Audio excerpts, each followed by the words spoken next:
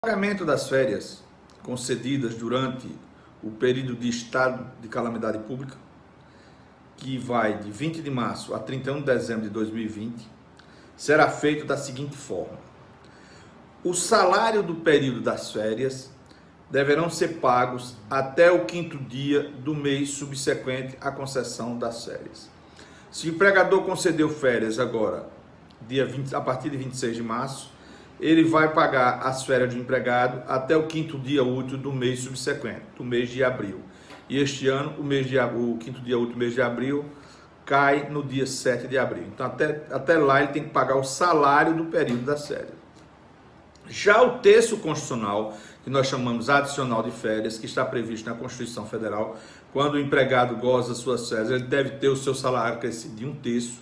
Este um terço, o empregador tem a opção de pagar até o dia 20 de dezembro de 2020. É o que está previsto na MP 927-2020 em seu artigo 8 Esse pagamento do terço está previsto no artigo 8 Durante este período, o artigo 145 da CLT não será aplicado. O que isso significa?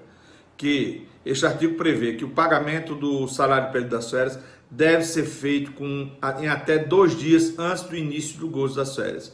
Mas nesse caso, ele pode ser pago até o quinto dia útil do mês subsequente ao período das férias. Se as férias forem concedidas em março, ele pode ser pago até o quinto dia útil do, do mês de abril, que é exatamente o mês subsequente.